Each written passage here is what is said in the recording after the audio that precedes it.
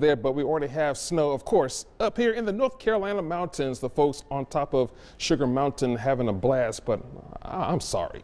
It's four degrees out there. It's only four.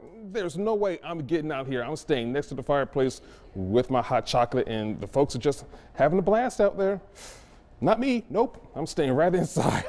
Outside right now, lots of clear skies and lots of good fun across the North Carolina mountains with the ski resorts nice and happy with all that snow on the ground. Now for tonight into our Sunday, mainly a clear sky here with a light north to northeasterly wind. Despite the sunny skies, we will work hard just to get above freezing for our Sunday afternoon. Moving ahead into our Monday morning, partly cloudy skies, then by Monday afternoon, look for sunny skies. Now here's the interesting part of the forecast moving into our Tuesday morning. There's a cold front right there with some snow back here in West Virginia. This moisture will begin to drop southbound, so maybe by Tuesday tonight.